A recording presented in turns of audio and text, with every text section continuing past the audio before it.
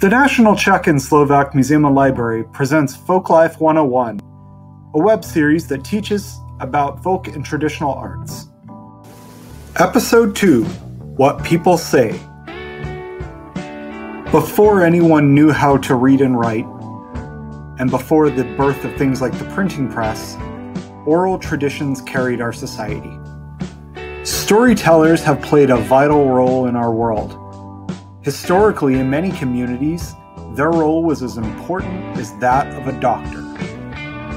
The brothers Grimm were two of the most famous folklorists in the world, and they collected many folk and fairy tales that we know now.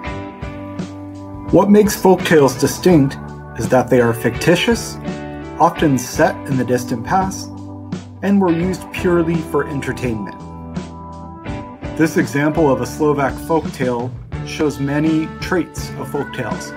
We often call those motifs. Princes and princesses are definitely one of those motifs.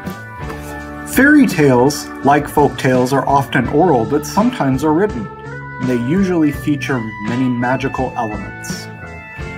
Legends like the Golem of Prague are very famous, and people even travel to see the site of these types of legends. Urban legends are more contemporary and often reflect people's anxieties. One example is Lady Midday, which is still spread around Slavic countries.